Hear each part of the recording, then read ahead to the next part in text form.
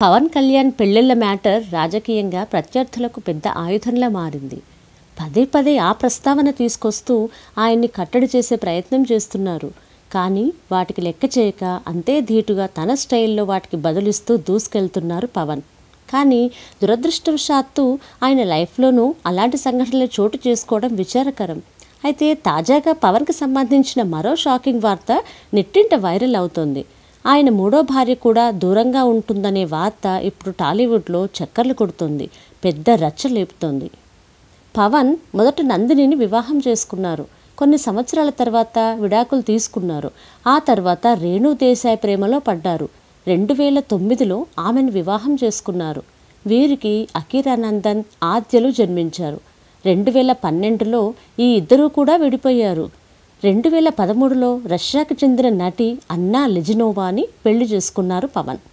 తీన్మార్ సినిమాలో ఏర్పడిన పరిచయం ప్రేమగా మారి పెళ్ళికి దారితీసింది. వీరికి కుమార్తె కుమారుడు జన్మించారు. కుమార్తెకి పొలెనా అంజనా పవనోవా కుమారుడికి మార్క్ శంకర్ పవనోవిచ్ అనే పేర్లు పెట్టారు. ఇటు తెలుగు అటు రష్యా పేర్లు మిక్స్ చేసి కొత్త పేర్లు పెట్టడం విశేషం. ఇదిలా ఉంటే దాదాపు పదేళ్ళ పాటు వీరి వైవాహిక జీవితం సాఫీగానే సాగింది. అంతా బాగుందనే సమయంలో తాజాగా పవన్ మూడో భార్య అన్నో లిజినోవాకు ఆయన దూరంగా ఉంటుందనే వార్త ఇప్పుడు షాక్ ఇస్తుంది ఆమె పవన్ని వదిలేసి సొంతూరు రష్యాకు వెళ్ళిపోయిందని సమాచారం. సింగపూర్ వెళ్ళిపోయిందనేది మరో వార్త. పిల్లలతో పాటు ఆమె వెళ్ళిపోయిందని తెలుస్తుంది. దీనికి సంబంధించిన ఓ వార్త నెట్టింట హల్చల్ చేస్తుంది. చాలా రోజుల క్రితమే వెళ్ళిపోయిందని తిరిగి రావటం లేదని పుకారు. మరి ఇందులో నిజమెంత అనేది తెలియాల్సి ఉంది.